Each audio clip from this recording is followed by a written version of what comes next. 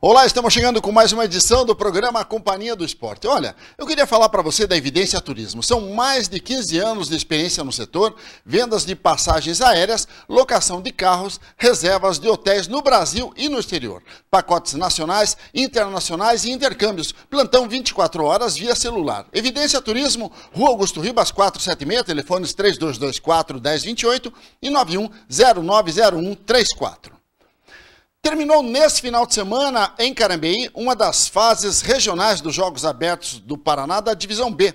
Esta é uma espécie de segunda divisão do esporte amador do Paraná, onde os campeões de cada uma das modalidades oferecidas obteve vaga para a fase final. E quem sabe tem a possibilidade de disputar a divisão A ainda esse ano.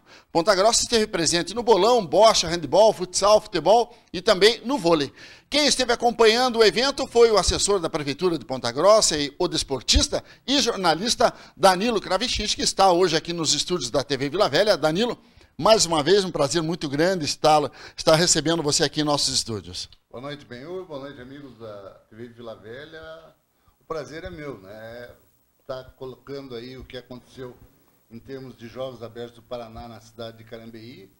Uma competição aí com 820 pessoas participando, 13 municípios e uma divisão bem igualitária de, de vagas para a final dos Jogos, da, os Jogos Abertos do Paraná, que vão acontecer lá na cidade de Palutina, no final do mês de setembro. Agora, é, nós tivemos, é claro, Ponta Grossa tem algumas equipes já classificadas para a Divisão A. Quem disputa a Divisão B passa por essa fase regional. E nós tivemos aí, o, vamos começar falando das modalidades, por modalidade, na verdade. O bolão masculino teve as disputas acontecendo aqui na cidade de Ponta Grossa. O que que deu? Exato, nós tivemos aí a disputa entre Ponta Grossa e a cidade de Prudentópolis, e deu Prudentópolis, por um pino na terceira partida. Houve um empate na, na, na primeira partida, Ponta Grossa venceu a segunda por uma diferença de 15 pinos, e a terceira partida foi vencida por Prudentópolis por um pino apenas de diferença. E com isso, Ponta Grossa acabou ficando de fora da final lá, na, lá em Palutina.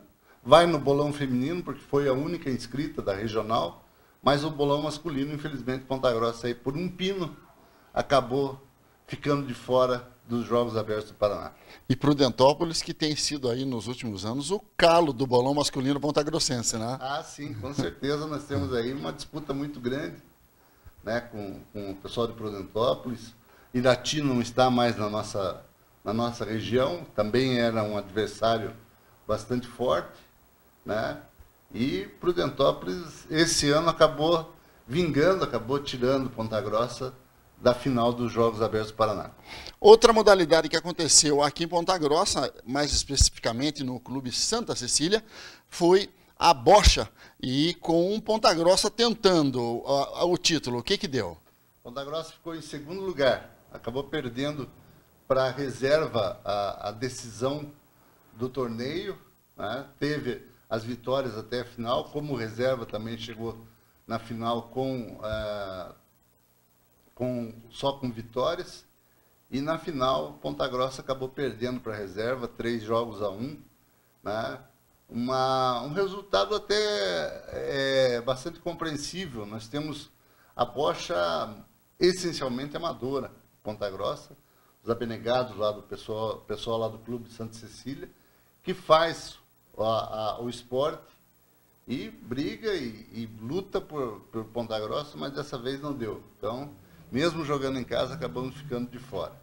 Agora, é, para as pessoas que pensam que a Bosch é exclusivamente amadora, existem cidades que fazem investimentos grandiosos, inclusive a, a própria cidade de é reserva, não, é, é, reserva, reserva é, muitas vezes disputa com atletas contratados de outros municípios. Tradicionalmente, não. tradicionalmente reserva traz uma equipe forte, tem um pessoal da cidade que é abnegado, e no oeste do estado, na, na, na região do sudoeste e oeste, nós temos aí o, o, o, polo mais forte, Cascavel, aquelas cidades menores lá, lá do oeste, acabam é, contratando até gente do Rio Grande do Sul, que vem, profissionais que vêm para jogar.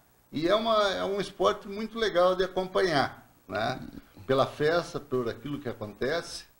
Infelizmente estamos fora aí, mas ficamos com vice-campeonato. E o pessoal do Santa Cecília promete ano que vem brigar novamente pelo título e levar o título para chegar à fase final da divisão B e quem sabe subir para a divisão A dos Jogos Abertos. A Bosch, inclusive, tem alguns detalhes bem pitorescos e interessantes, né? É o tipo de esporte que o cara pode tomar uma cervejinha ah. antes e é regado muitas vezes uma boa cerveja, né, Danilo? Se não calibrar, não tem, não tem jogo.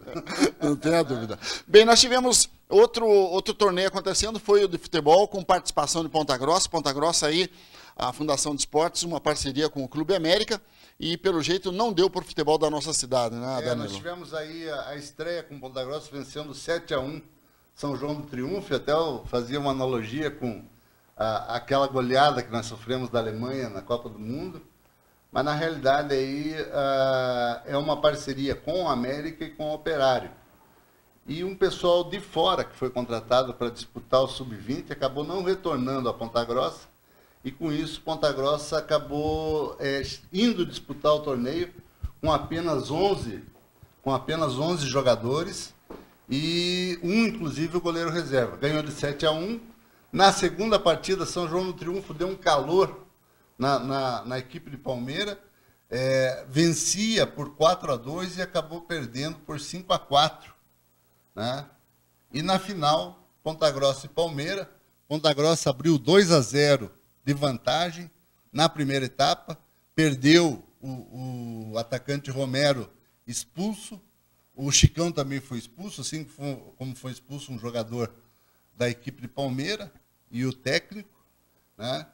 E acabou no segundo tempo Ponta Grossa não repetindo um bom futebol, acabou perdendo por cinco, ah, por 4 a 2 a decisão, um resultado realmente eh, ruim em termos de futebol por aquilo que Ponta Grossa apresentou na primeira partida e o que poderia ter apresentado se tivesse com o elenco completo. Mas, infelizmente, aí o Chicão teve que contar com 11 jogadores, um goleiro linha, né? e, infelizmente, ficamos de fora. A cidade de Palmeira, então, é a representante desta região aqui dos Campos Gerais para a fase final dos Jogos Abertos do Paraná na sua divisão B. Futsal, a equipe masculina disputa a divisão A. No masculino, lá, Deu Castro, primeiro lugar, está classificado para a fase final da divisão B, mas Ponta Grossa participou com a sua equipe feminina e aí veio o primeiro título para a nossa cidade. É, veio um título é, importantíssimo conquistado ontem na cidade de Carambeí, diante de Carambeí, foi a única modalidade que teve dois grupos, quer dizer, teve equipes participando do grupo A e B, e Ponta Grossa, na, na fase de classificação, enfrentou Carambeí, houve um empate em 1 a 1 e nos pênaltis a goleira Jéssica garantiu aí a vantagem de Ponta Grossa. Ontem, novamente, os dois times se enfrentaram, time que se conhece muito bem, temos Porque várias... Meio Ponta Grossa contra Ponta Grossa, né? Exatamente, temos várias atletas que são de Ponta Grossa, que, que se formaram aqui em Ponta Grossa e hoje defendem Carambeí, e o time do China Malaquias, acabou vencendo também ontem, depois de empatar 0 a 0 no tempo normal e 4 a 2 venceu nas penalidades máximas. Foi uma grande festa ontem lá no ginásio da Perdigão, em Carambeí, e até uma frustração para o pessoal de Carambeí que tinha a, a, esperança de pelo menos uma modalidade chegar aos Jogos Abertos do Paraná. Mas, é, infelizmente para Carambeí, infelizmente para Ponta Grossa, Ponta Grossa venceu, mostrou qualidade, mostrou um time organizado e muita raça das meninas. É, foi realmente uma, uma, uma vitória espetacular. Outro também que teve um resultado altamente expressivo foi o handebol masculino e feminino da nossa cidade. Pelo jeito, as duas equipes conquistando a vaga para a fase final. Sim, sim. O handebol é, tem um trabalho realizado aqui no masculino com o pessoal da Liga dos Campos Gerais e o, o Boles, a, o pessoal da velha guarda e alguns garotos, né, fazendo um trabalho bem bacana e estão aí. Venceram Castro duas vezes, vitórias expressivas, e agora vão a Palotina tentar chegar a retornar à divisão A. É um, é um desafio. O, o time está, é, inclusive, realizando aqui a fase do Campeonato Paranaense, que vai ser no final do mês, agora, dia 22, nós vamos ter aí a, a fase do Campeonato Paranaense, a última fase classificatória do Campeonato Paranaense de Handebol, e um resultado aí que motiva bastante. No handebol feminino, a professora Margarete Ruppel, que acabou é, aposentando o tênis e indo para a beira da quadra agora, sofreu muito, né? mas o handebol feminino também passou com tranquilidade pelos seus adversários e conseguiu é, voltar a disputar os Jogos Abertos, coisa que não acontecia há algum tempo já, de Ponta Grossa não passar pela regional. Sempre tinha um calo aí é, é, e acabava perdendo a, a disputa pelo primeiro lugar. Esse ano não, esse ano fez uma campanha sólida, disputou o Campeonato Paranaense também, infelizmente não pôde é, contar com todas as suas jogadoras na segunda fase e acabou no desempate perdendo a vaga para vir para disputar as finais do, do, Campeonato Paranaense de Handebol. É, inclusive, no segundo bloco a gente vai estar tá falando um pouquinho aí do, do handebol masculino e também do handebol feminino, do trabalho que vem sendo feito de recuperação da modalidade. O treinador da equipe vai estar aqui conversando com a gente. Quem esteve também nessa fase regional em Carambeí foram as duas equipes no vôlei, né? O masculino e feminino, né? E não deu para Ponta Grossa, Danilo. Não, não deu. O masculino é, também tem um trabalho feito por veteranos, feito com o pessoal que está desde o ano passado é, com o professor Michel trabalhando e lutando, e tinha esperança esse ano de subir. Mas Castro tem uma equipe profissional, é uma equipe que disputa, inclusive disputou simultaneamente os Jogos Abertos e a Divisão B da, da Liga Nacional, Sub-20, né? foi campeã, inclusive, lá na cidade de Castro, e Ponta Grossa acabou não conseguindo. Perdeu para Castro, venceu os outros jogos, mas ficou aí de fora dos Jogos Abertos. No feminino, a surpresa foi Ibaiti, uma equipe é, é, também formada na, na, na, própria cidade, com uma técnica estreante também, a Camila, que está estreando dentro da, dos Jogos Abertos do Paraná, e acabou vencendo Ponta Grossa por 2 a 0, venceu Carambeí por 2 a 1, que foi um jogo onde Carambeí saiu na frente e acabou perdendo por dois sets, né, os dois sets seguintes, como no, no, no, na divisão B são apenas melhor de três sets. Carambaí acabou perdendo e é, Baiti acabou levando o título. Ponta Grossa ficou em segundo lugar. Ontem venceu a cidade de Carambeí, fez bons jogos também, mas é uma equipe renovada que está aí com Augusto retornando a Ponta Grossa, fazendo um trabalho de base, buscando uma base sólida para Ponta Grossa. E são os esportes que nós estamos tentando recolocar em termos de elite, né? que tem um tempinho ainda para fazer, tem um trabalho ainda para fazer pela frente.